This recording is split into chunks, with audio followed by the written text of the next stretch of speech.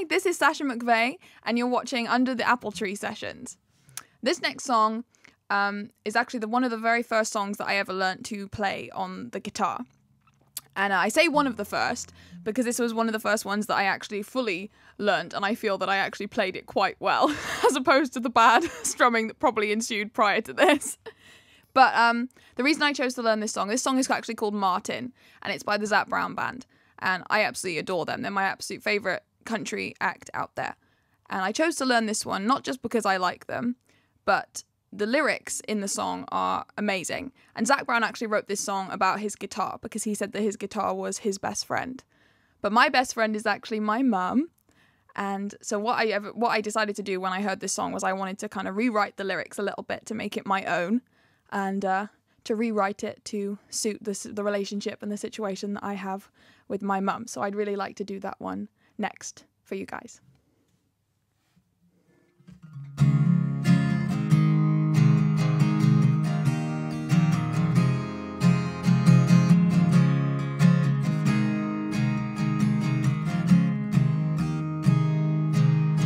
She was born in the woods to an unhappy home.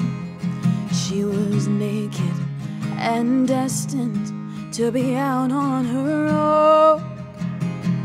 She waited in darkness, hoping someone might see from something so rough what a treasure she'd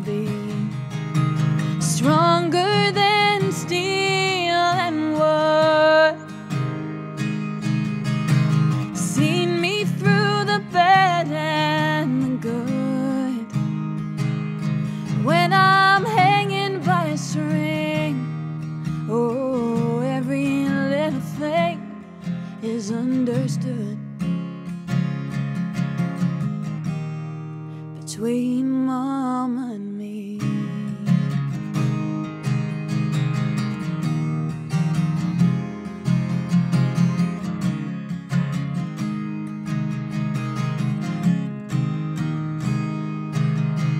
She's beautiful and loving from the outside to the end. She's either strong and outgoing or locked in her shell again. And it takes some fine tuning to make her come around, but she's a huge piece of me, and I never let her down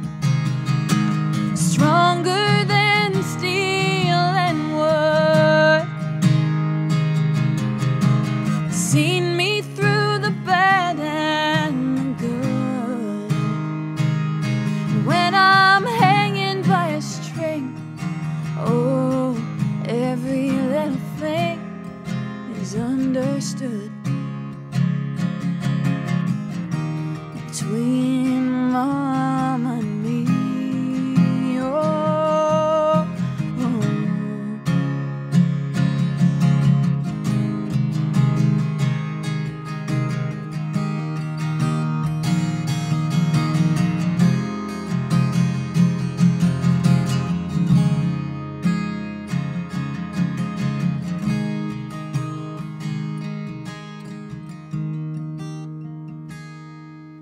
She is my best friend, but she has her own voice. And you get what you give. Sometimes it's just noise. But if you treat her well, she'll last your life long. If you're honest and open, you can never do